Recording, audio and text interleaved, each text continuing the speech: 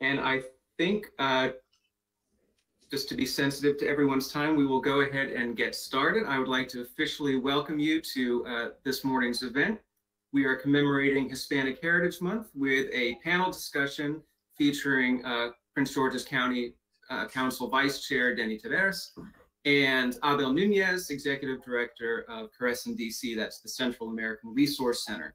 We are so happy that you all have joined us. I will have a few other introductory remarks, but I would like to first turn it over to uh, our distinguished chairman of the Prince George's County Planning Board, Elizabeth Hewlett, for a few remarks.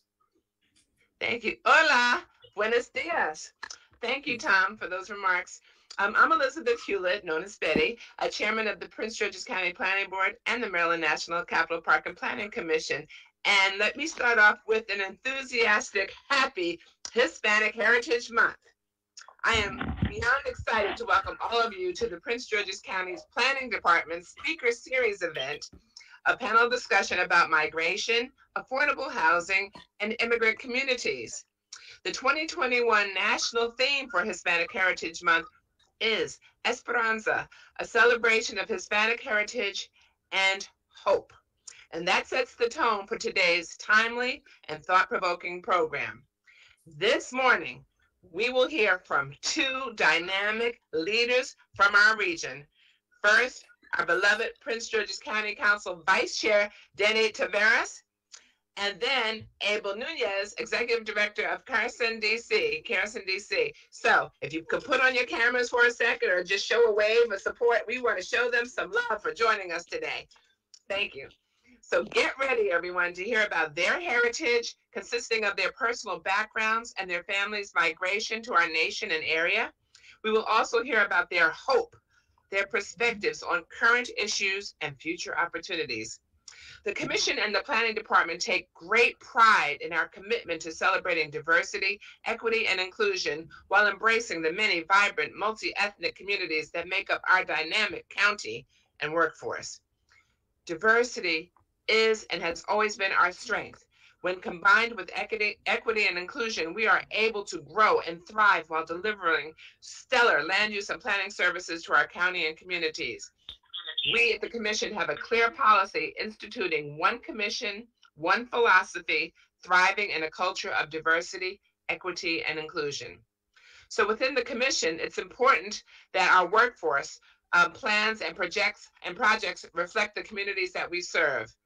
In fact, the Commission strives to build and develop relationships with while providing programs and services to, for the growing to support the growing Hispanic Latino population in our bi-county area.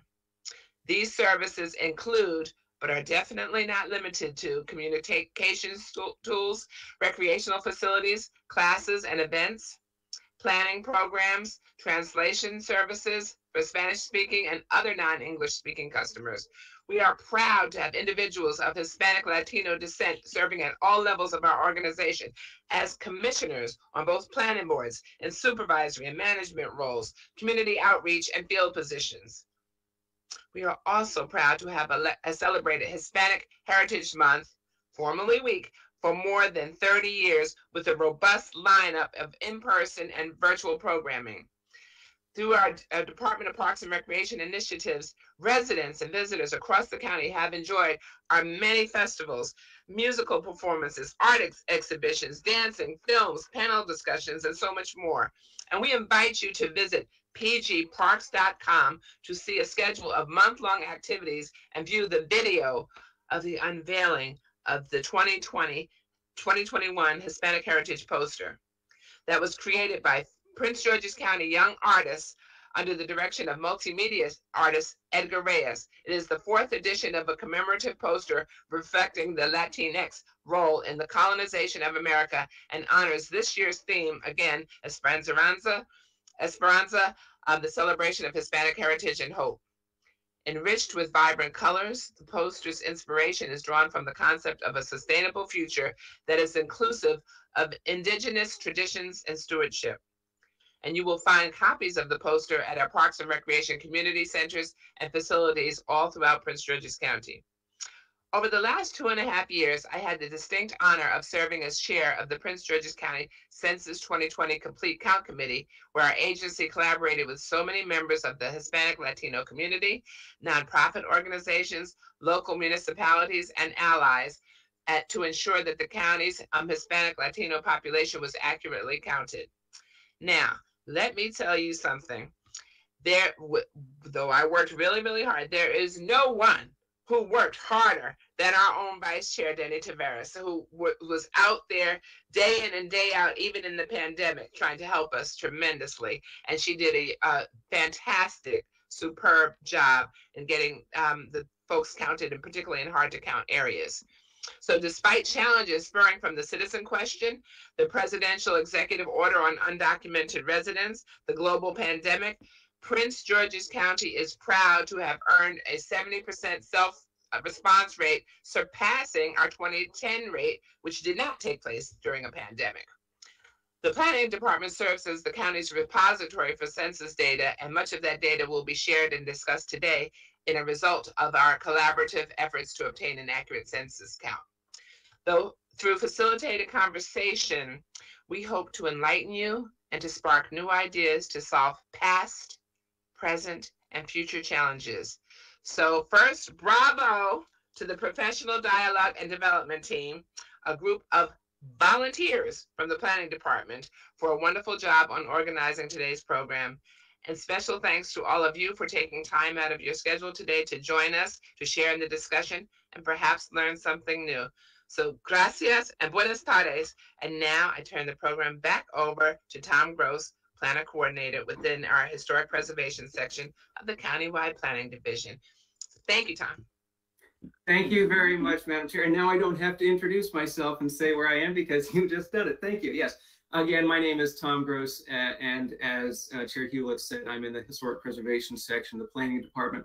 I also chair uh, the uh, the Planning Department's Professional Dialogue and Development team. Um, I have to start, as I like to start all the events that we do, by acknowledging the people that help with these events. Uh, it is certainly not a one-person thing, and it takes a village, and these are some of the villagers that helped with, uh, with this morning's event. Um, there was a team of, of three people that worked with me uh, on this event most closely, Ivy Thompson, uh, Brittany Drakeford, and Callista Black. I will say that Brittany Drakeford has agreed to step in as backup moderator if for some reason I lose power or internet. I wanted to make sure that the entire event would not go off the rails if something happened on my end, although I'm not expecting that. So thank you very much to the three of them. Uh, also, Carly Brockington and our publications um, division who did the wonderful flyer that was attached to the invitation for this event. Uh, Mbalo Abdullah for helping with posting the event details on our department website. Chelsea West, our social media coordinator for coordinating the social media posts for the event.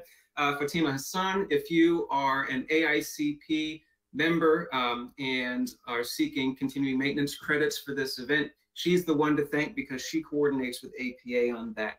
Uh, Ryan Cron uh, for doing the recording and the posting of the event on YouTube. Chuck Wade, uh, a relatively uh, recent addition to the planning department. He is a, a, demographic planner and he has helped with the uh, demographic statistics that I'm going to share in a moment. And I also have to say thank you uh, to the leadership of the department for providing the top level support uh, for the professional dialogue and development team. That's our planning director, Andree Green Checkley, our uh, acting deputy planning director, uh, Derick Berlage, and of course, Chair Betty Hewlett of the Prince George's County Planning Department. Um, uh, sorry, the Prince George's County Planning Board. So with that, let me introduce today's uh, speakers. I know they are uh, known to many of you, but I just want to briefly um, introduce them. Uh, Vice Chair uh, Deni Taveras was reelected to her second four-year term on the Prince George's County Council in 2018, and in 2020 was elected as Vice Chair, making history as the first Latina elected to her seat and to a leadership role on the council. As council member, she has attracted $10 billion worth of investment from both private and public sources and has put eight schools and two libraries in the pipeline for construction in her district. Vice Chair Taveras is a strong advocate for education equity and social justice issues, seeking to improve the lives of working families in diverse communities. She chairs the Metropolitan Washington Council of Governments Climate, Energy, and Environment Policy Committee and is a member of the local Workforce Development Board. And we certainly hope that she touches on some of those issues in the course of our discussion this morning. Uh, Vice Chair Taveras holds a dual master's degree in public affairs and urban regional planning from Princeton University School of International and Public Affairs, master's degree from the University of Utah, and a bachelor's degree from Barnard College, the latter two in chemistry. So once again, we are honored to have Vice Chair Deni Taveras with us. Our other panelist, uh, who we're also honored to welcome this morning, is Abel Nunez. He is the Executive Director of the Central American Resource Center, or CARECEN. Mr. Nunez has a well-rounded background in nonprofit management and fundraising, as well as a history of community activism.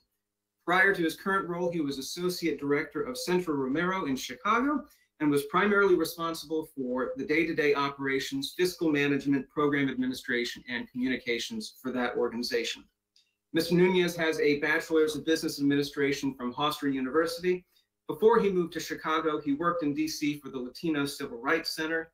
He was also on the staff of CARECEN from 1998 to 2000 as its citizenship and civic participation project coordinator, and later at, at its, as its deputy director. Nationally, Mr. Nunez has served since 2008 on the board of the Salvadoran American National Network. He is one of the founding members of the Residency Now campaign, which was launched in January 2012, and seeks to obtain lawful permanent residency for immigrants from El Salvador, Honduras, and Nicaragua under temporary protected status uh, or TPS.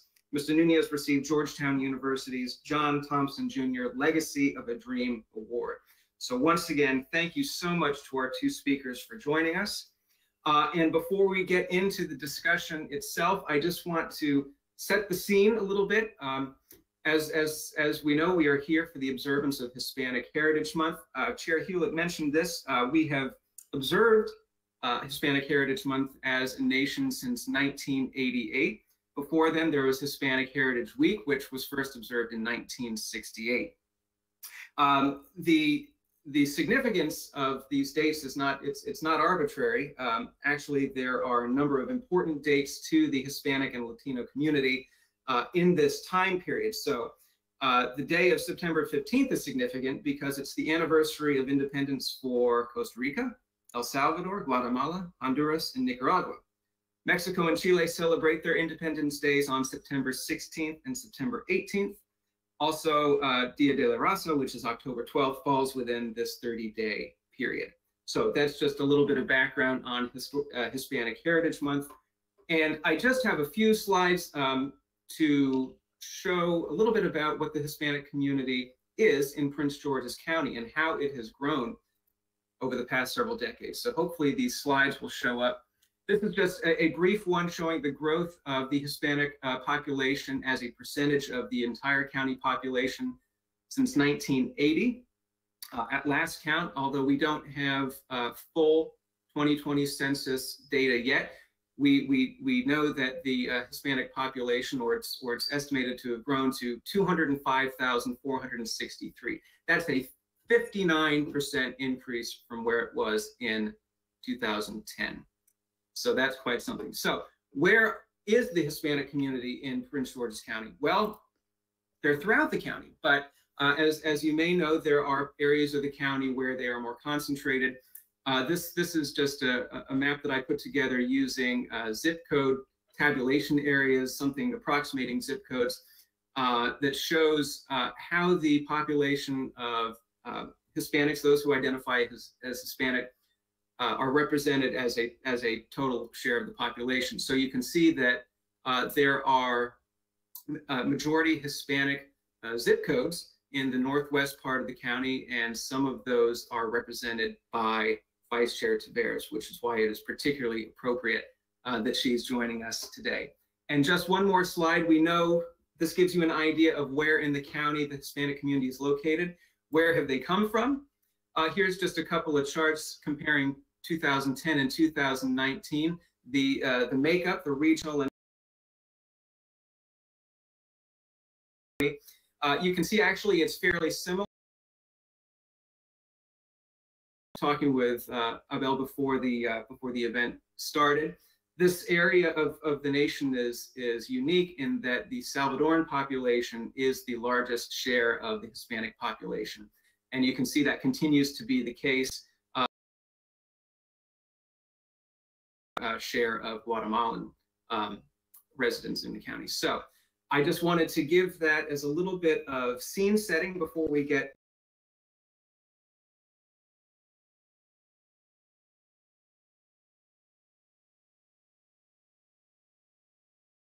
Um, and so I'd like to start with asking the panelists to say a little bit about themselves and their story. Uh, I just read sort of your professional biographies, uh, but I would like to hear, and I think all of us would like to hear, um, you know, more about your stories, your your own Hispanic heritage. Um, and so I think I'd like to start with uh, Vice Chair Taveras first. If you could just describe your family background, um, your, your immigration story or your migration story, and how you understood your Hispanic heritage as a child and young adult.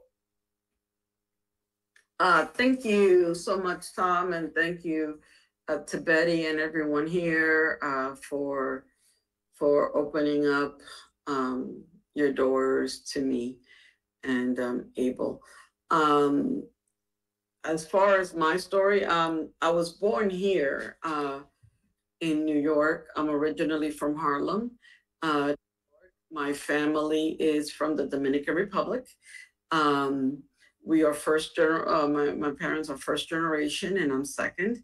Um, we came in the late 60s, uh, early 70s, um, and we had the most recent wave um, of family members arrive in the in the 2000s. Um, that's the most recent. We still have some family, um, like some cousins and some of our seniors, um, still living um, in the Dominican Republic. For but for the most part, our whole family is now here within the states. As far as me, um, I lost my mother when I was four um, to suicide. My father, um, he was a taxi driver. Uh, he um, was killed while working um, the same day that John Lennon died.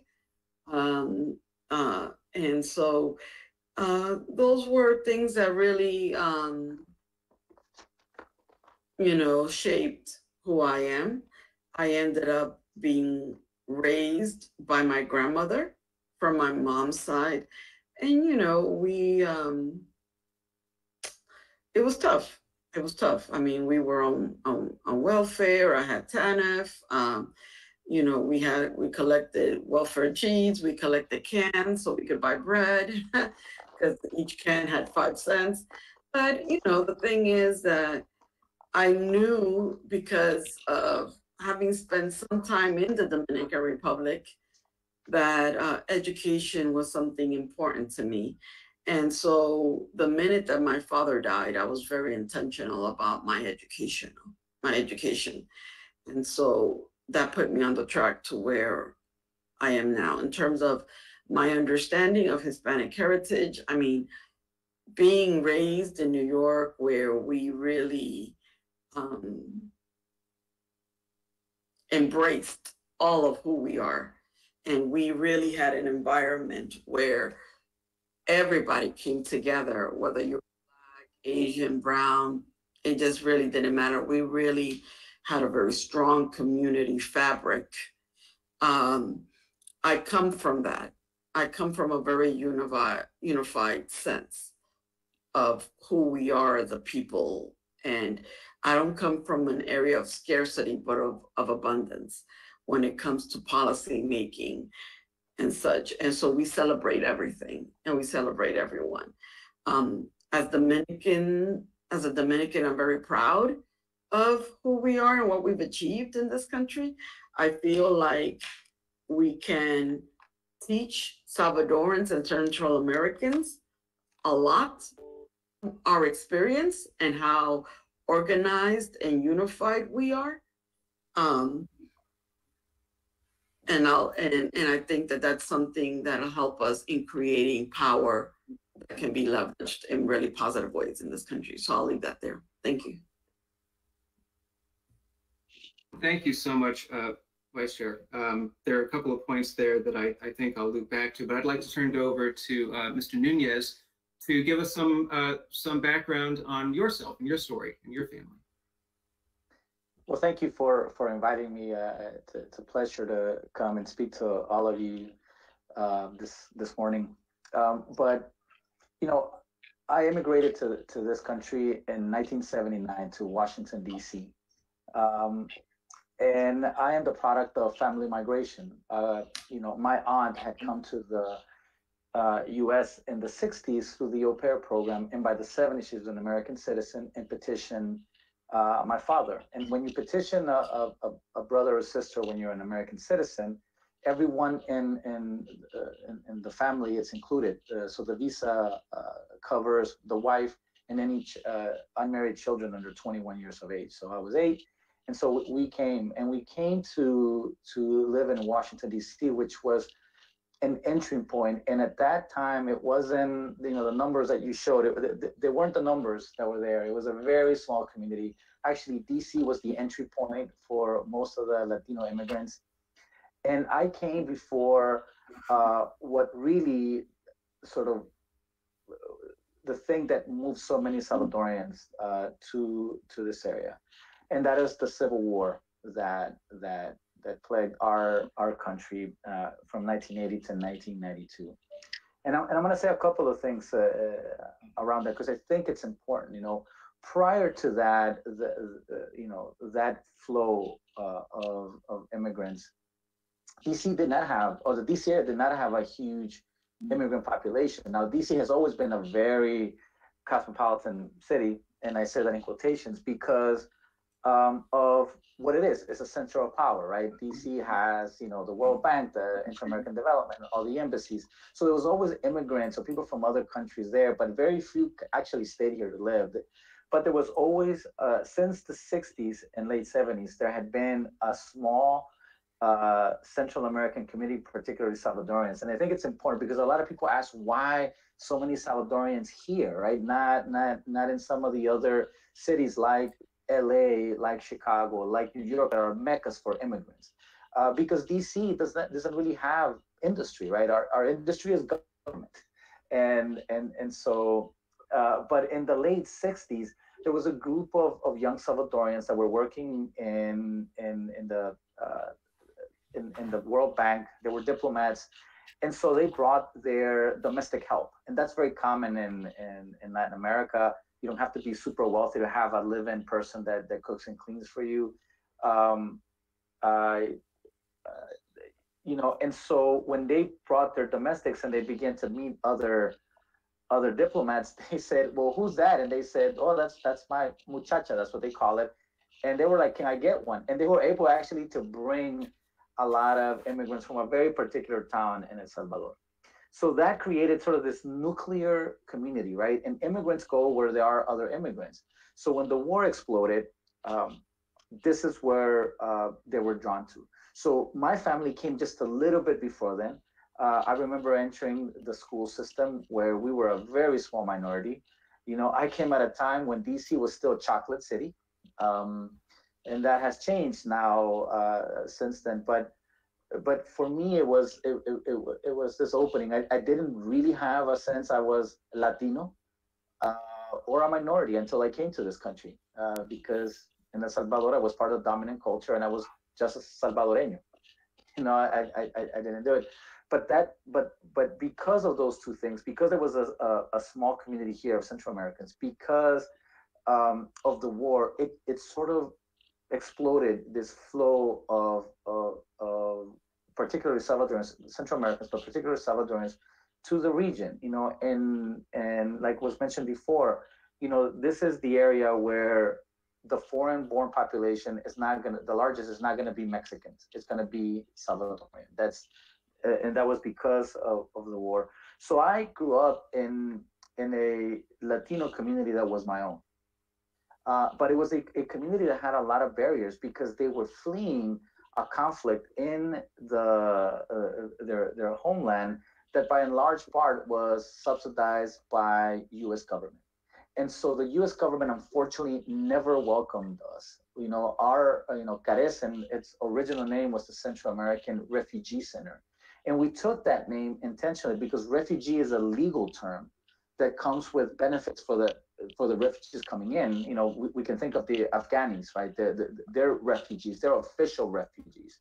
But but Central Americans were never given that title. We were just undocumented immigrants for the for the ones that came fleeing violence. And you have to remember that the U.S. was supporting the government that that was in part uh, responsible for that violence. And so that we were, were were were coming in and we interacted. But I also saw, you know, I grew up in a community that was small but growing. Um, I saw a community that has helped move this um, this region you know, uh, and, and make it what it is today. You know, I remember what DC was in the late 80s. You know, I, I was a student. I'm a product of the of the DC public school system. I was in the school system when it was taken by by the government, by the uh, by the government board, where studies show that the more a child spent in the school system, the worse they were off. Right? I I lived through the Mount Pleasant riots when you had this in the 90s, when you had this explosion of Latinos in the cities and municipalities around the, the, the area did not really recognize uh, that you had Latinos around you and that you needed to integrate them into that, right? And so I worked with a lot of uh, leaders. I've worked with a lot of government officials to open that up and to help us integrate, right? And now, I mean, if you think what, you know, Silver Spring, Hyattsville, all these little towns were in the 80s compared to what there are now, you know, the inflow of, of immigrants, uh, particularly Central Americans, have had a lot to do with the development and the growth of our region, right? If you look what DC looks like, you know, I, you know, I grew up in in the Mount Pleasant, um, you know, Columbia Heights neighborhoods. I remember when there was a, a Woolworths, a, a Waffle House, a Ben Franklin Five and Dime, right? That is no longer the case in, in, in DC and the region. But to a large extent, our immigration, our labor force, you know, has been a part of the, of the engine that has created uh, this wealth for, for this region. And, and, and for me to see that growth, you know, it's been amazing. And, and I always thought like my story in this area is the story of the community because I came when it was very little and now we're like a massive number, right? uh, you know, we are we are integrating more and more, but the immigration has not ended. As a matter of fact, there's more migration from El Salvador to the region now than they, there was prior to the war, right, to the civil war. So that our flow and our growth will continue to, to, to happen. And we see that, you know, in the, in the slide that you showed. So for me, it's, it's been an incredible experience to, to live and, and, and grow up in this region. It formed who I am and my thinking. And the reason that I that, that I where I work or what I do, it is because I've seen the struggles of my family as they were trying to integrate in, into the city. I've seen the struggles of my friends' families. And so for me to be able to be in an institution that helps integrate is is is really a you know part of who I am. So I'm very blessed to to to have grown up in this region. And, and because the other reason is the diversity that exists. So although Salvadorans are the largest community, we're not a dominant majority, right? There are other groups that that grown up, Latinos and non-Latinos in, in, in this region. So that I think that diversity gives us our strength. And, and I'm really happy. I think again, who I see, my my worldview is, was shaped by the fact that when my family decided to immigrate uh, from El Salvador to this region, they we ended up here in, in, in the Washington D.C. area. I'm, I'm blessed for that, uh, you know, and I continue to do the work of, of integration to ensure that future generations, you know, have it better than we had it when we were first coming in. So I'll leave my comments there. Well, thank you so much, Abel. Um, you know, you talked about the reasons why your family uh, immigrated to the U.S. and, and of course, every everyone that moves from somewhere to somewhere else has has their reasons. And throughout American history, there have been all sorts of reasons why people have come from all over the world to the to the United States. And and in your case, it was, as you said, largely the Civil War in El Salvador. I wanted to to ask um, Vice Chair Taveras, what do you understand of the reasons that your family made the decision to leave their home and come to this new place? Uh, that was the dictatorship of Trujillo. Um, and, uh, the, the, I, and I've, and I've studied this issue very much so. Um, there is a correlation with the engagement of politicism with the relationship of how they connected with politics or disconnected with politics from their home country. So the fact that the Trujillo regime ended up in the assassination of, you know, Trujillo, um, forced us, a lot of us, to to migrate over in the 60s, 70s, and 80s. Um, and and the dictatorship, the 24 year quasi dictatorship of Balaguer, subsequent to that, who was one of his right hand right henchmen, um, since then, was very transformational in our in our country, and we've been we've been very politically engaged as a result of that. Um, I think that, and and I shared, and I like to share the reason why we just um, during us getting counted in the 2020 census, how transformational it was for us to connect where the Salvadoran and, and, and Central American community are now, despite the fact that we came at the same time, the level of progress that the commun- Dominican community has made politically is vastly different than where the Salvadorans are. And, and I think we need to bring them under our wing and bring them along because they are a powerhouse. They are the third largest Latino group in the in the country. And while Dominicans, you could see them from school board all the way to Congress and the White House, you don't necessarily see that reflection of that community in all levels of power with with um, the Central Americans. So with that, we we were able to get counted um, because of the Family Reunification Act that that Abel alleged, you know, that, that he he commented on. We were able to get counted and convince the community for from becoming in the 1990s the lowest number of individuals being counted in the city of New York to being the most highest number immigrants to be counted. The minute that we flipped that switch in 1990, despite our illegal status, despite just having green cards, despite all of that, the money started to flow in to get citizens to, to acquire citizenship classes, to acquire uh, all the training we needed to get everybody acclimated and in that and in the track to become legalized and certified to become American citizens. And therefore, there started the power base where we, we were able to get everybody elected. Thank you so much.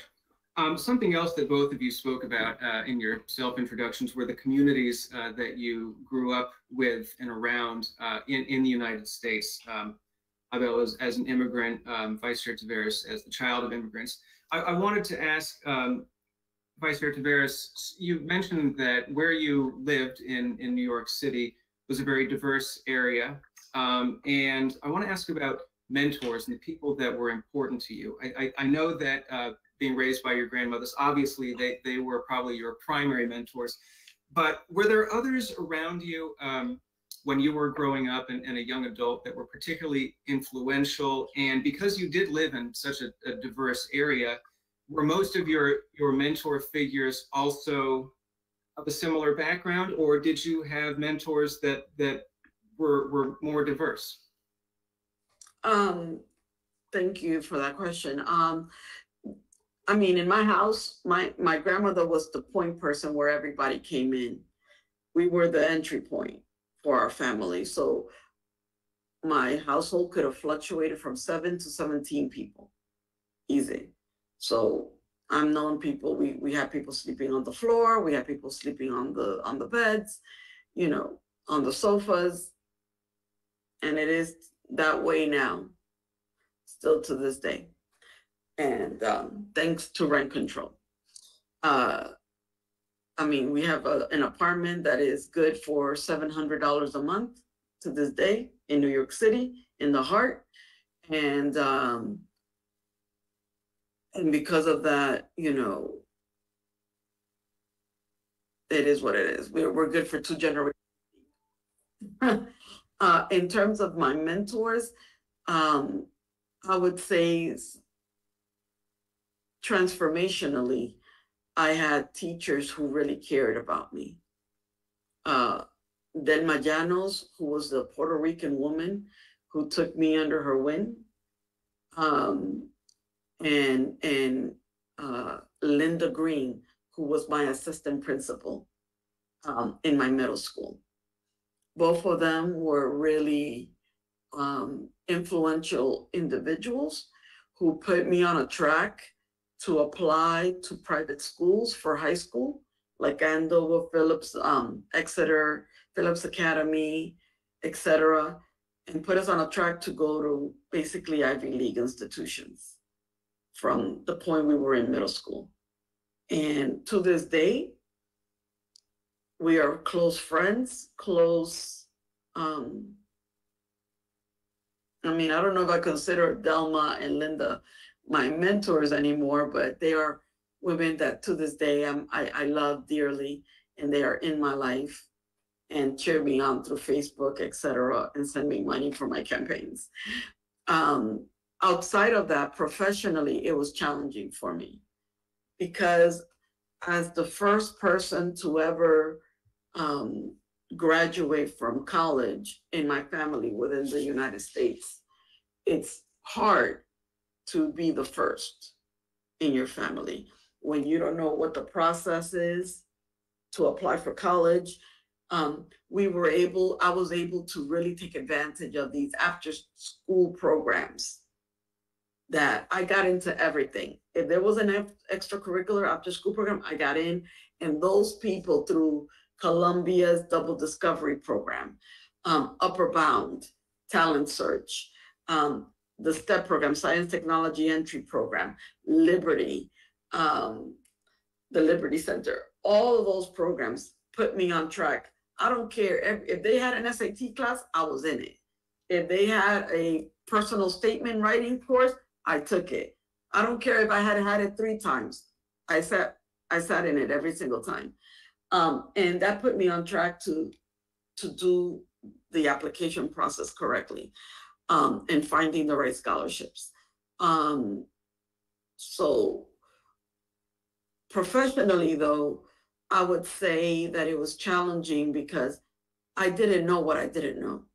So when I applied to work at EPA, FEMA, et cetera, I really didn't have a family member who said, hey, watch out that with a master's degree, you've got to come in at a GS nine, not a GS seven, you know, you know, and and so I was hoodwinked, even by our own people of color uh, in these spaces that were just looking out for, you know, the man, so to speak, um, to let me know I didn't, I didn't know, and I also didn't know my personality enough, work-wise, to recognize that I just don't fit in into a bureaucratic environment. I'm too much of a change agent, and I'm too transformational. Um, and so I struggled in those spaces. I learned from those spaces, and I found uh, Latinos within those spaces that, particularly Puerto Ricans, like Nora Lopez, uh, who who was a great mentor with an EPA, um, who who were who really guided me and helped me and supported me. Um, so and we're willing to, you know, say, okay, if you want to go to Princeton, go. Lisa, Lisa Jackson, who was the EPA administrator within Obama's, she she wrote my recommendation to go to Princeton, you know, and and I really to this day, you know, we are we're connected. So I really um appreciate those individuals that put me on track. In terms of since then, it's been close colleagues from grad school who were just wiser, knew knew how to network better because they had been trained on how to network to know I'm still struggling, you know, with how to do it right. But um but there are some individuals that are very skilled at that. And and I've and and I try to stay around them so I could learn from that skill set, from the skill set that they have. And so we get together as women of color. A lot of them are African, African American, uh, Latina, powerful Latina women. And so um, I just try to keep a really positive circle of individuals around me that are non toxic to keep me moving ahead.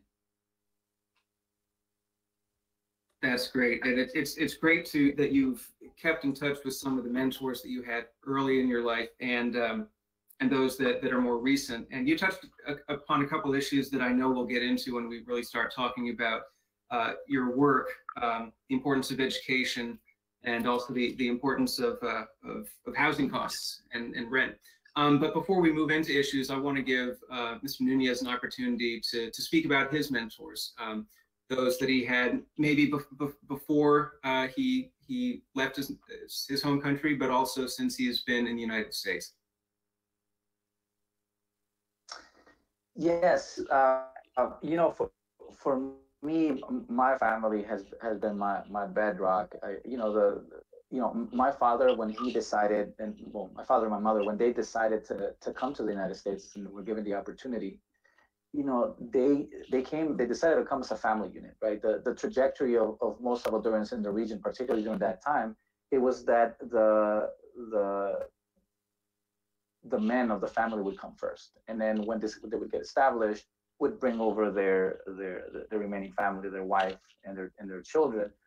But that created incredible uh, family disintegration, right? Because there was there was geography in between, there was time in between you know, and my father, when given the opportunity, said, no, you know, my family is, is, is more important to me than what benefit we can get from the U.S. And, and decided to bring us as a family, which, you know, created, I think, a more of a challenge uh, to, to make sure that, that, that, that he could sustain us and, and, and, and close us. Uh, him and my mother made decisions, um, financial decisions that, that ensure that the family would stay together rather than acquiring material things. And for me, that grounded me on what was important uh, in life. You know, I, I, think that coming to DC and being able to to um, go to a bilingual uh, elementary school, um, Oyster, now it's called Oyster Adams, but when I when I was going there, it was just Oyster. I think you know grounded me because it it allowed me you know, and I and I really want to recognize all the teachers that that were there in, in that school because they gave me a sense of identity, right? It, it wasn't like I had to give up who I was uh, as I was coming into the U.S. Um, you know, I was able to, to to really not just be in my own skin, but learn about my my history, and so uh, uh that allowed me. I know so many of, of, of, of my peers that went to English uh, school, English speaking schools that lost the language, lost culture, and and I was able to keep that not just because of what was living at home, but because the school reinforced that. And I think that gave me a sense of identity of who I was. And as I was growing up in DC, you know, it's very interesting. I, you know, in, in you know, the in the region, you know, it was a it, it was a tough uh, time for you know uh, you know brown and black folks in the 80s. You know, we had to live through the crack epidemic you know, and then the 90s hit and gentrification started sort of pushing a lot of folks out. And so I was able to see the inequities in the system, but as I was able to be really grounded at home. And, and that did not allow me to be swept away by a lot of the, the vices that, that a lot of my peers, you know, unfortunately succumb to. So so that that grounding allowed me to really think of, of, of I needed to pay it back. And when I started my professional career, you know, and because there was no no career path in terms of, of how I ended up. You know, people were put in, in, in, my, in my path. And I had people like Pedro Aviles who who ran the Civil Rights Task Force, you know, after the Mount Pleasant riots, that sort of pulled me in, and I began to meet sort of this group of of Latinos that you know from the 60s and 70s were fighting, you know, uh, thinking Maria Gomez, who runs, you know, Mary Center, you know, um, Vivi Otero, who was uh, deputy mayor at, at, at, DC's Department of Health and Human Services. Um, there were Sonia Gutierrez, who, who founded now, you know, Carlos Rosario, right? And so all of these people were around and they actually mentored me. And, you know, as I began to do community work, uh, to, to really understand sort of where we were at um, in, in, in, in this region. Uh, so unlike New York, unlike you know California, that has a history of immigrants from Latin America, uh, DC was not the case.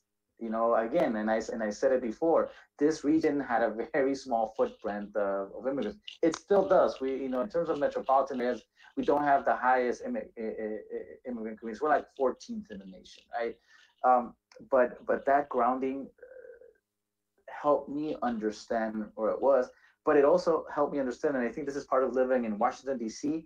The, how you had to interact with the policymakers, right? Because being growing up in the shadow of Congress, in the shadow of the White House, you understand the decisions that are made there impact your life, whether you know about it, uh, whether you care about it, or whether you engage in it, right? Those decisions impact your life.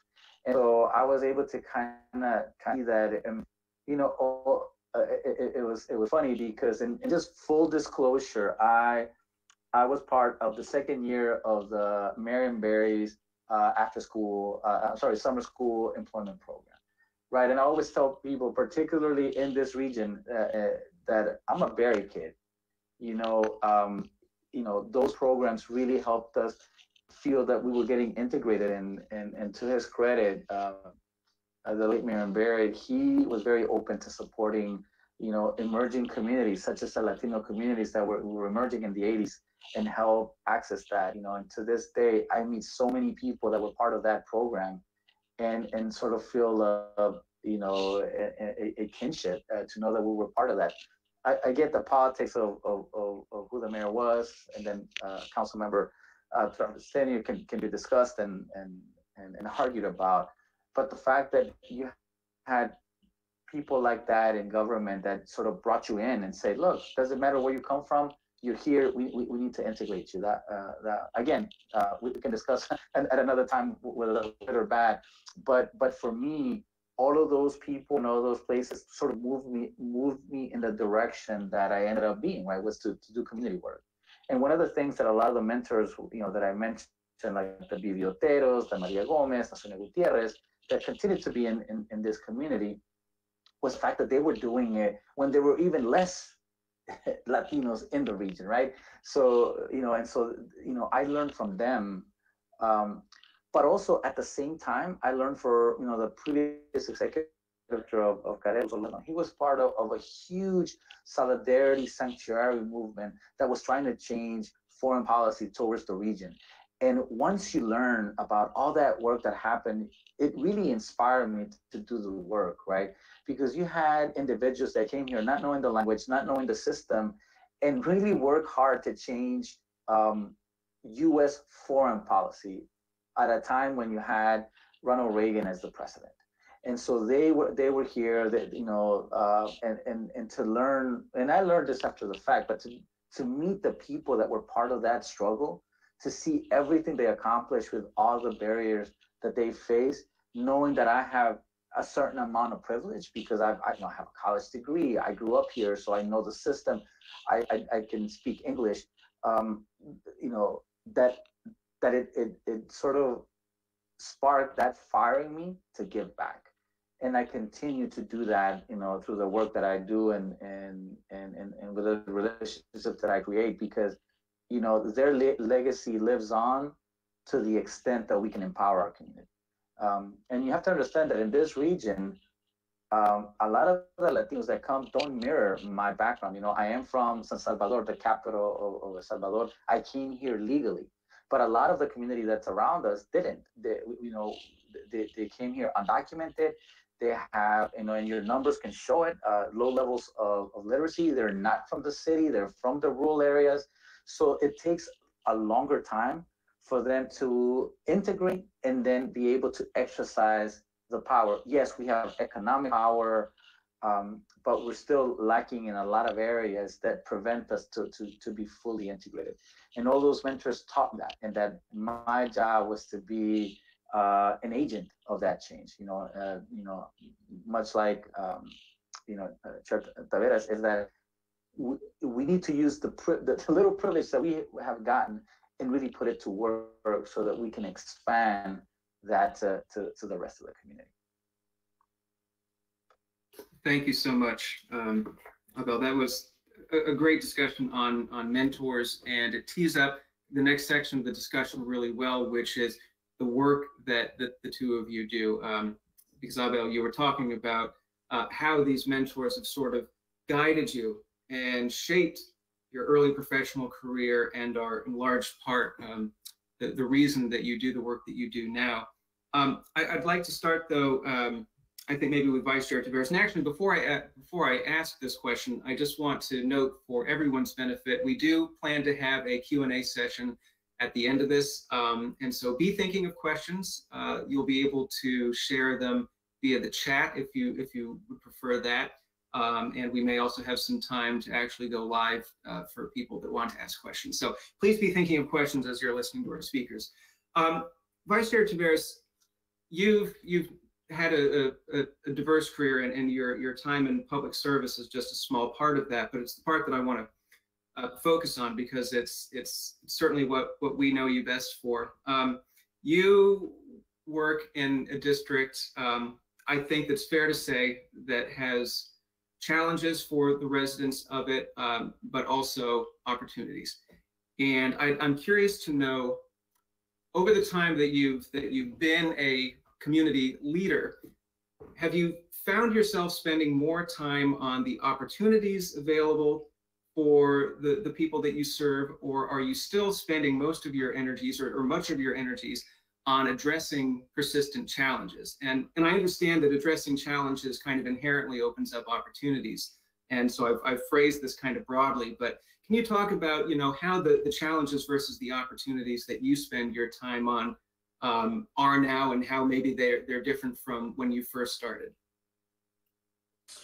When I first started, we were literally um, we it's it was very troubling the numbers and the statistics that I saw.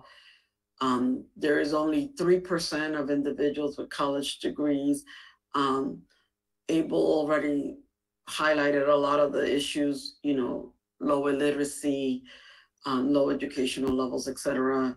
Um, and uh, and if I can be frank, um, you know, I got started in in in in politics by helping out my condominium association when it was at the height of the housing bubble bursting. And so I had to jump in, save my condominium from bankruptcy, and convert it over to a multi-million dollar organization, which I still run to this day. And in that space, um, uh, I was able to kind of see working with that population, which is highly immigrant. I was able to see a lot of the challenges. But um, uh, in running for office, my first year, given that I was brand new to, to politics and I only won by six votes, you know, I was led to put in a lot of politicals in my office and such, and that was not very functional. Um, I had to let go or start over after the first year. And once I was able to hire my own staff, I was able to get a good team there that was really intentional about the community um, and had a heart for the community like I did and shared my vision. We were able to get a high functioning team working out of my office. And that allowed us to do both look at opportunities and address the challenges. So we were looking at issues of the fact that only thirty percent of our ELLs were graduating at the time I came into office. Now that number has doubled. We're at fifty-nine and leading the state. When I came in, we were less than two percent staff of Latinos in the school system. I'm not saying it's great, but we have since more than doubled that percentage. And increased the number of Latinos running schools, being in the higher ranks of education, that it's not just the janitor, the kitchen staff, and the secretary in the front. If you understand my meaning. And so that to me was really important for, for, and to have individuals in the school system that looked like the students that were in those classrooms.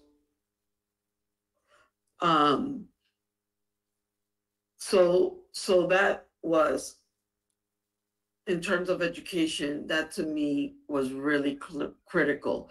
Um, and in challenges of, yes, we're growing the community and increasing property values, but how do we retain our, our, our Central American diaspora? And by keeping rental prices affordable and providing opportunities to, for individuals to renovate their homes, especially with the displacement of the fear of displacement from the purple line. And for our businesses that are along the purple line. So in all this time, I've been saving money, putting money together. We just released a program where out of fifty-six businesses, forty-three businesses received free grants that are in the purple line. We've been able, and more monies to come. We've been able to do, um, while we, at the same time, we just finished closing a deal that you'll learn about shortly. Um, you've been help instrumental in the Spaces program, in establishing the Spaces program. We just landed the money to, to redesign all of University Boulevard. And that'll be announced shortly. Um, to finalize the closure of the revamp of univer, of, of, uh, University Boulevard from New Hampshire to, to, to, um, Adelphi uh, Road. Um, and so those are the things, but what does it mean to, we're still struggling with what are we gonna do with Victoria Station? We were able to get a new owner at Las Vilas. Um, but can we, we just finished doing a pilot for that owner to make sure that we're, we're providing affordable housing in Las Vilas to retain that population. So it's a little bit, I'm just being really intentional about, yes, growing and providing services, but mitigating the displacement and mitigating the gentrification. Because what I believe is that we can be self-determining as a community and follow the footprint of areas like Oakland, where in the Fruitvale area and Unity Council, where we can be Latinos, professionals, leading a community, identifying with a community, bringing quality goods and services into a community and say, this area is ours. And, and so we can be, we can go beyond just pupuserias, cleaning and, and doing mechanic and landscaping. While those things are great because it's brought a lot of money to our community, we could bring a bank that's Latino owned. We could bring different resources and businesses that are Latino owned and administered. And to me, I'm very intentional in building that. The issue is, right now, we've done those levels, but what about, what does it look like to have more Abels in all the spaces? Right? And duplicate Abel in all these spaces for me.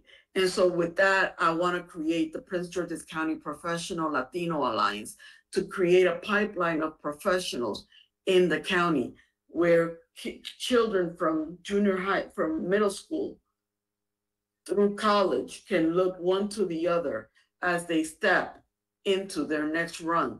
And then when they get to be young professionals, they can look to the young professionals, and then the young professionals can look to Abel and myself and say, we can do that next run too. And then the people in the professionals, yes, we can get into the White House. We can go into these other higher echelons as well. So, so I want to, I want to be able to create that pipeline. And so there's opportunities, like you said, at both ends, and we just got to work it. And, and we have to speak politically. Um, and that means money. We've got to collect money, back candidates, and create that pothole, either our Latino PAC, and move and move that politically so that we can be taken seriously at the table and not just used when it's convenient. So I want, I'm actually, I want to stay with you, um, Madam Vice because you, you ended there talking about the need to think politically. So much of this is driven by the resources available for it. And it brings up a question to me. Um, you, as a member of the county council, require the support of your colleagues for measures that are important to you. They don't all share your background. The people that you might be going out and asking for support or money from don't necessarily have a direct interest, at least they might not think, um, in aiding these communities. So, so how do you how do you sell the importance of helping the kinds of communities that you serve to people from outside the community that, that may not feel that they have a direct interest in it? Well, here here's the thing that by educating the kids in this community, you are making a, a, a better Prince George's County for all. Because these individuals here are contributing members of the tax base. But I would want, I would venture to say that everybody here wants to be in a position to provide more and better for the county. And so an educated population is an advantage to us all. So, and I would say that the same challenges that African Americans faced when they first moved into Prince George's County, where they felt that they had to sue the system to get the representation that they needed, is the same situation that we're in now. But I would like to, to be able to bridge where we don't have to do that. I think that if we can talk with folks, we could be able to open up the doors. Um, and I may, and hopefully we could talk politically, right? Um, and so, so, so we don't have to get ugly, so to speak. Um, I think that we also have to come from a position of abundance, not scarcity.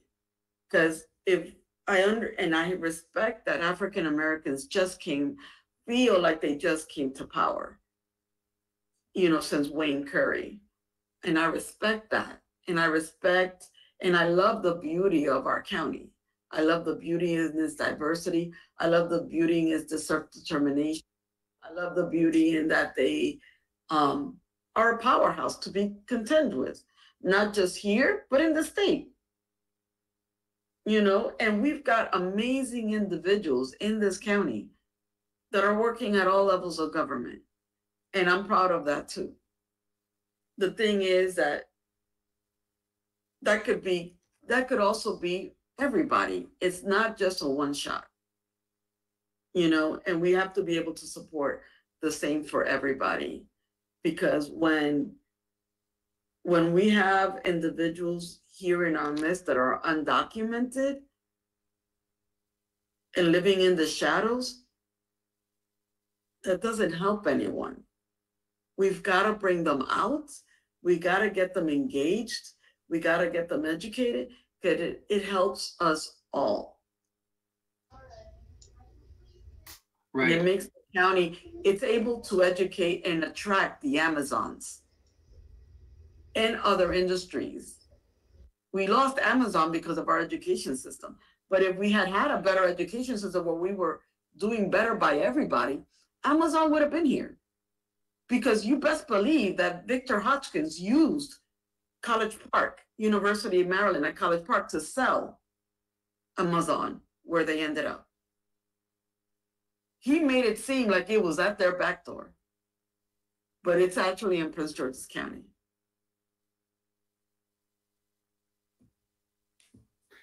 Thank you very much. Um, I, so I, want to phrase this similarly broadly to, um, to Mr. Nunez, talking about over the course of, of the, uh, your career to this point, um, and the relative time that you spend on addressing the challenges for your, your constituency that you work with versus creating opportunities, promoting opportunities. Uh, where do you where do you devote most of your time, and has that changed over the course of your career? Well, you know, because I, I would say, you know, the more things change, the more things stays the same. We need to understand that the growth, you know, and you show that in the chart, that the growth of the of the Latino uh, community in Prince George's County, it, it's not that a group came 30 years ago and this is just natural growth from procreation, right? That migration is still a healthy uh, influx of people to the county. And so that means that they, with them, they bring the same challenges of uh, low uh, language skills, low literacy skills, um, and and so that the, the the, the local governments need to really integrate that. I I, I do want to just bring back the issue of, of education. That is so critical because you know we, we are at a stage in our development as a community where we're starting to produce our own lawyers, our own teachers. But this is where the system needs to really think about how it's it's it's doing that. So, for example, you know, uh, College Park was mentioned. College Park sits, sits in, in this county. The question is, how many county residents are benefiting from that education? And the numbers doesn't doesn't show proportionally that that we don't, you know, that they're not bringing in our young people, whether it be African Americans or Latinos, to really take advantage of that resource that is there.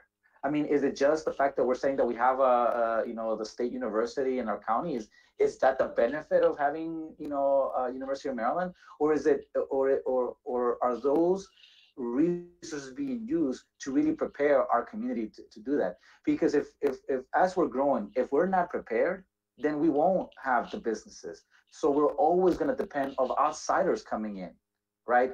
To to be the the the the, the business owners you know the the politicians we need to grow our own and and the only thing and the only way you can do that is to really begin to invest in education really have a first class educational system not just k through 12 but you know k through 16 and, and and we have this university here that's an incredible asset that we need to really figure out how does the local uh, elected officials mandate that that happens because we do have the, the, the power we also have to understand is also that that you know I say things, you know, the more they change, the more they remain the same.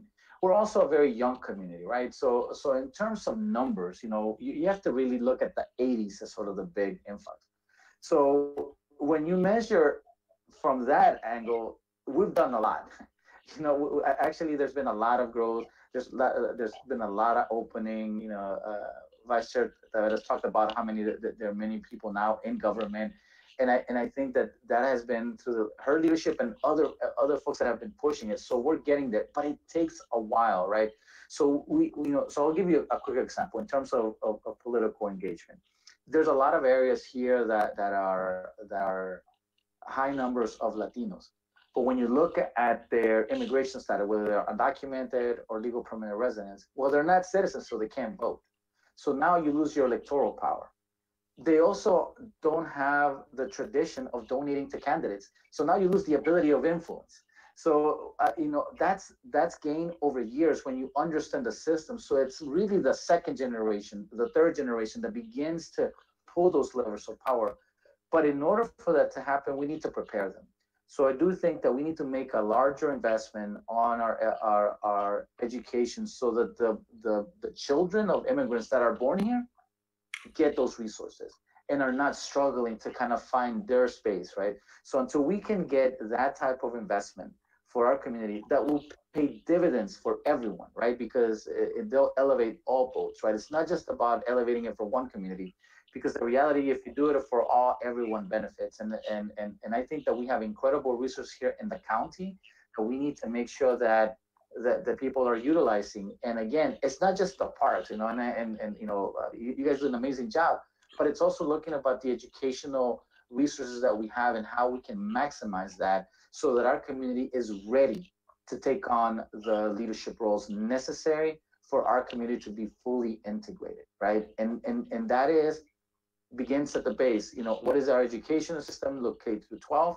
What is how do how do how are we feeding that uh, to the university level? We have an incredible university system just in, in the county that we need to make sure that we're utilizing uh, this there. And uh, you know, something that that that Vice Chair Taveras uh, alluded to was the fact that we also need to do a much better job of of really uh, black and brown relationships because together we are stronger if we just do things for Latinos or we just do things for African Americans, we're all going to lose out at the end.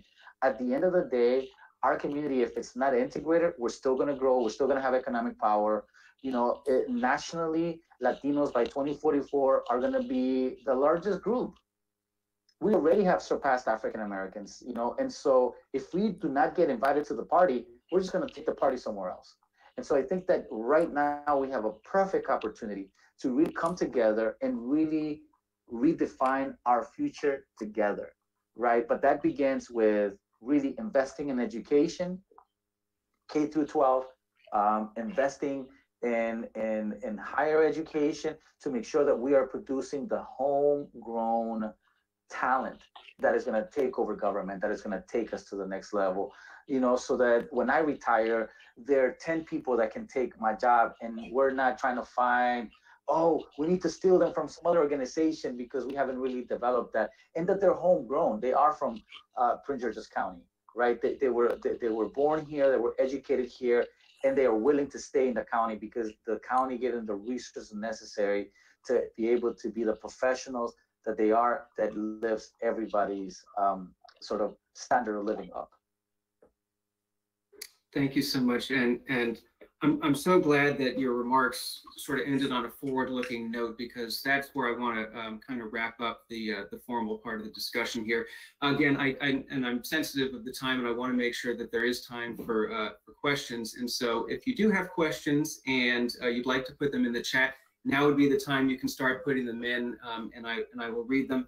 Um, but uh, I I want to, as I said, end with a look ahead, and maybe just for each of you to spend uh, a couple minutes putting yourself 30 to 50 years in the future. As, I mentioned at the top and Chair Hewlett mentioned, we've observed Hispanic Heritage Month for uh, over 30 years now. We've, uh, before that, it was Hispanic Heritage Week. 30 to 50 years from now, what do you want people to look back on and see as the successes? How do you think Hispanic heritage uh, will be commemorated in the future? What what are the things that we're going to look back on as accomplishments that 30 or 50 years down the road? And maybe maybe Vice Chair Taveras can uh, can start off. Well, I mean, I I, I want to be able to. I want to shoot for the moon. I mean, I, the same way we celebrate Kevin Durant and and and all these amazing, amazing Prince Georgians that we have. Uh, the same way I want us to look at our Latino young men and women here doing the same. Um, you know, and and right now I'm in the process of uh, leveraging to see how we can re- rename schools uh, after Sonia Sotomayor, Charles, Dr. Charles Vela, and etc. And renaming streets here in Prince George's County, you know, now that we've passed um, the Responsible Legacy Task Force and we are looking to rename um, buildings and streets, et cetera, and places of honor, um, and taking away names of individuals that might have had a more racialized past. We want to be able to to commemorate. Um, imagine having a building named after a Prince Georgian that is Latino, born and raised here, naming a street, naming a building, naming. I think that would be amazing. Somebody who's made some real ta- tangible changes to the community. Um, that to me would be something that I mean would bring so much pride um, to to our community. And I do feel that hopefully by then, and hopefully rather sooner rather than later, we would be in a better position to come together and learn from each other the same way we want Latinos to learn about the sacrifices of African Americans um, in order to give us the freedoms that we have as people of color. I want African Americans to learn about the lynchings and challenges of Mexicans um, and and and uh, discriminatory practices and that that Mexicans faced in this country, similar to the challenges that Abel highlighted, and the influence that foreign policy had in the driving of individuals to this country. Because there's one without the other. You can't say, oh, well, we don't want all these illegal people here. But the reality is that your tax dollars is, is funding that. And we have to have some level of ownership to that. Um, so, and with that, I just want to say I think that we can come together and we can bring our communities together. And I think we will. I mean, I think with the right leadership in place that has a heart for the community, we will do it. And I and I'm I, I'm very dedicated to being part of that process, and I'm sure Abel is as well. And with that, I say thank you, and I'll leave you for.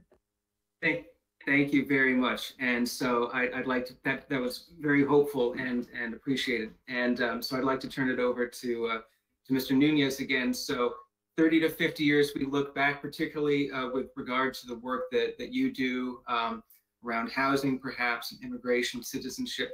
What are going to be the, uh, the, the accomplishments to be proud of in 30 to 50 years? You know, I, I think for, for me, uh, and again, I think we do need to shoot for the moon, is that is the fact that you know things like such as you know African American Month or, or Hispanic Heritage Month is not to, related to a month. It's like it's it needs to be celebrated 365 days a year. It is the fact that that we can look at uh, uh, an elected official, you know, such as vice chair, and know that she is representing everyone. Not because she, you know, we don't need a slot for a Latina or a Latino or an African American it's that we can we all are working to improve everybody in in in the county.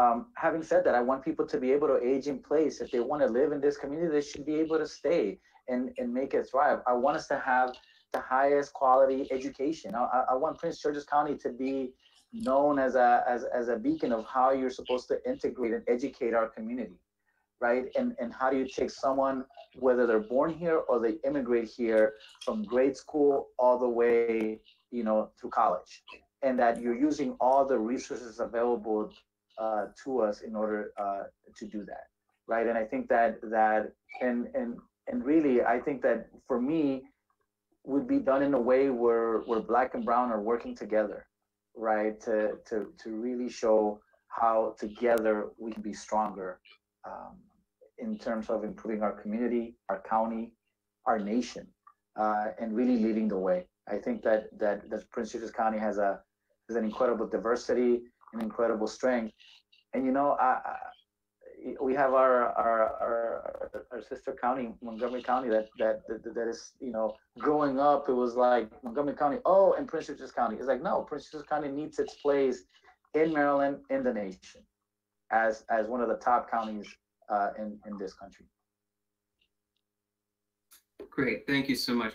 Um, that was a great place uh, to end the formal part of the, the discussion. As I said, um, I did want to leave a few minutes for uh, for Q&A. I, I think this could have easily been a full day symposium. I would love for this discussion to go on and on, but I am uh, uh, respectful of everyone, or trying to be respectful of everyone's time. But there is a question in the chat, which I will read uh, for the benefit, and this is for Vice Chair Taveras, and it's from uh, my colleague Fatima Hassan in the Planning Department. And she asks, at the public hearings for the countywide map amendment earlier this month, I heard many Hispanics expressing concerns, in particular, um, with regard to improving their housing situation. What do you think is possible to allay their concerns and take this community to the next level? And for Mr. Nunez, what would you like to see happen in improving housing and other needs in Prince George's County that would help Hispanic, uh, Hispanics and other housing insecure communities? Uh, in terms of, I, I think, well, this may be a little political, but I think that the the the concerns were politically motivated, right? Um, they don't want to give um, certain business owners the opportunity to upzone due to the zoning rewrite, right? And um, or not upzone, but to change the the zoning per the the the local transit oriented um, zone. Um, so the thing there, I, and at that, and for full disclosure, that this organization is suing that, that those pro, some of those property owners. So to me, my dream is to have an organization like the Northern Gateway CDC to purchase those buildings, renovate those buildings, uh, and if not renovate, basically destroy and start bringing up and, and reconstruct. The, the issue is the cost and finding the money willing to invest in demolition and reconstruction of those buildings. Um, and to see if there is a, an, a, a way that we can retain some level of affordability to those buildings because that's the that's the greatest fear right that can we make those buildings and retain them as affordable? Um, to me, that's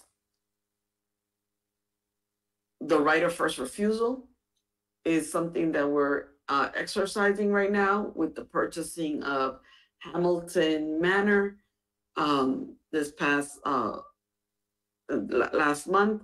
And so we we're looking to exercise a lot more of that if whenever possible so that we can be able to come in and replace these these negligent owners that are divesting themselves because they feel that oh well the purple line is coming.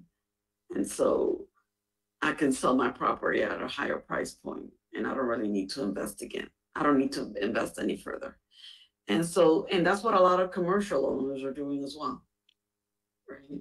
And so, uh, so we're, those are the challenges that we're facing. I would love a, an- a CDC to come in and purchase as many of these buildings as possible. um, In, in an organization that is Latino run, Latino determined and, and, um, that represents the community. Thank you. Um, Abel, there was a part of that question for you. Um, what would you like to see in terms of improving housing for the housing insecure residents of the county? We, we need to do a much better job of, of, of, of maintaining affordable housing. Uh, that's, that respects the dignity of people, right? I mean, so, so, um, you know, you can, uh, you can approach development as just bringing in new people with more money. And so if the developments that are coming up are, are the, you know, half a million dollar homes, you're going to change the nature of, of, of, who it is, and you can just displace people out of out of your site. And so I think we need to really work hard to make sure that it can, you know, people can age in place, so that we have the policies uh, and the resources that align with that, uh, to make sure that that people can can live in safe uh, places. So I think that we need to make a much better effort in terms of the development that comes in, and that involves everyone. That involves, you know, sort of the private market, the developers. That involves the county, uh, the nonprofits, the, the the religious community to kind of work together and and, edu- and educate them, and then to make sure that that, that they also fund uh, organizations that navigate, that help people connect to resources because there's so many resources that go on tap because newer communities just don't know how, how, how government functions and how they can access some of this, uh, these resources. And even when, even if they do, you know, the process of navigating government, uh, interacting with government, sometimes is not the easiest uh, function. You know, just go to, go to your local uh, motor vehicles department and and you and, and, and you you'll see what I, what I mean, right? And uh, you know, even though we're we're still dealing with COVID, we got to get through this pandemic in, in, in the best possible way. But we really need to protect people's homes, and I think that that housing is so critical because it is one of the tools that we use to um, to transfer wealth. And if we do not build the wealth of our community, we're always going to be renters. We're always going to be left out. And and so and so we need to be able to use uh, the policies that the, that the county takes to fortify and strengthen the ability of low income communities to stay in their communities, but also be owners. Thank you. I think we've got, to, we, there's one more question in the chat that I'd like to fit in, and I think we may have to end it there. Um, and I think, uh, Abel, this is for you. Uh, this is from Nidhi Ocasio. She asked, how can we assure that funds are allocated to help immigrant families to take advantage of opportunities like helping illiterate uh, parents to fill out FAFSA forms and to find grants. Uh, she notes there's a lack of outreach and programs as well as mentorship. Any comments on that? Yeah, I mean, I, I think that this is where we all need to work together, right? And and and we need to look at non-traditional uh, spaces. So uh, you know, I think schools are, are are a great place, but sometimes you know, newer sort of immigrants to the community may not feel that comfort level to go speak to counselors at, at the school system. You know maybe because of language and if not language it's just an institution that they don't feel comfort comfort in. And so we we need to spread this and, and, and for the ability of, of, of the local government to empower and fund other non-traditional spaces like religious institutions like nonprofits to do this type of work. It is necessary. But then we need to also connect it to the universities, right? So that so that, that we're not just working on them getting funded, but also helping them making sure that their children are actually getting into the schools and that the schools, such as the University of Maryland, has very specific programs of bringing in county residents, particularly low income immigrant, non-immigrant, low income immigrants into their system. Great, thank you so much. Um, there was uh, one other question in the in the chat, which Vice Chair Taveras was kind enough to answer in the chat, but for those of you who aren't seeing it, uh, Catherine Lopez asked, are there any resources or any particular agencies helping with Hispanics with learning disabilities? Uh, and Vice Chair Taveras knows um, the ARC and Latino Student Fund and MMYC uh, also mentioned the Chelsea School um, someone else puts the World for Autism in Lanham. So thank you very much for those. I want to say thank you so much to both of our panelists, Vice Chair Deni Taveras and Abel Nunez of uh, CARECEN DC. I'm going to share my screen because um, it was mentioned at the top by Chair Hewlett that this is certainly not the only thing that the Maryland National Capital Park and Planning Commission is doing to observe um, Hispanic Heritage Month. There are so many events throughout the month, and I'm just highlighting a few that are coming up soon that you may be interested in. Uh, there is uh, this Saturday a Latinas in Aviation Global Festival at the College Park Aviation Museum, where actually uh, pilots featured in a in the book Latinas in Aviation will be flying in to College Park, and you'll have a chance to meet them. And uh, I believe there will be uh, food as well. If you um, are interested in something a little bit more moving and musical, uh, there is a Family Art Day Fandango at the Adelphi Manor Community Park. That is also this Saturday from 11 to 2 p.m. That sounds uh, like a great event. And something perhaps less festive, but no less uh, important. Uh, if, if you uh, enjoyed this panel discussion and would like to attend another panel discussion, um, the Prince George's County, uh, the Parks and Recreation Black History Program will be sponsoring a panel discussion next Tuesday colorism versus racism. How do these isms impact Afro uh, Latinx communities? And that will feature Dr. Aisha Court of Howard University, Miriam Machado Luces of TVA Media, Shanti Martinez of Casa de Maryland, and Manuel Mendez uh, of the DC Afro Latino Caucus. So there are many more events uh, other than the three that I just mentioned. I've got the website here for that.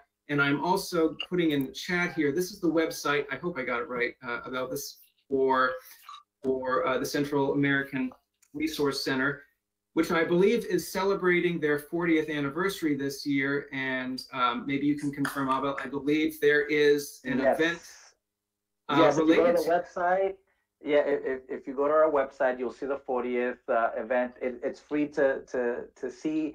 Uh, it's gonna be October seventh at six thirty. Uh, there's a link already on our web if you wanna just join us that day and, and, and celebrate forty years of work in the community.